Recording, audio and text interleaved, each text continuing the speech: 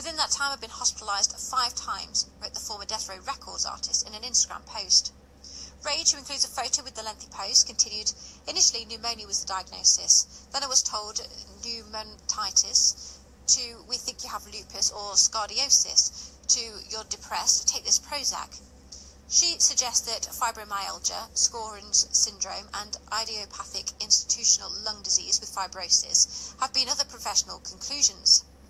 Artist, who's eventually transitioned in acting in films like Next Friday and Pride, reveals that she suffered a facial injury, injury in the last month.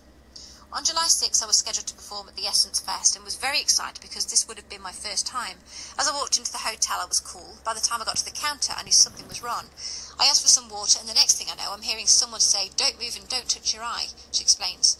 I blacked out and fell face first into a cast iron frame at the front desk. Blacking out is called syncope, and this was my third and most damaging time.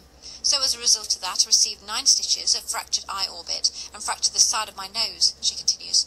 Nothing was found, adding, the previous test showed nothing besides the fibrosis. One of the staff said, You're a medical mystery. The Afro Puffs creator said she expects and needs something more concrete. So as it stands, I'm trying to find the proper diagnosis and the proper treatment. Rage notes an outpouring from her fans.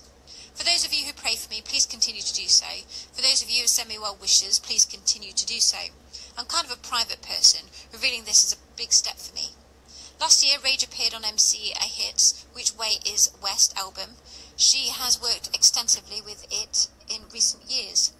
It has been more than 20 years since the former Chubb Rock mentee released her Necessary Roughness album. In the 2000s, she followed with a mid 2000s mixtape, VA2L.